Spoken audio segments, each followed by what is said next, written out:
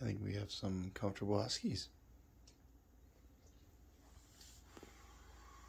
Hi, Bear. You're so.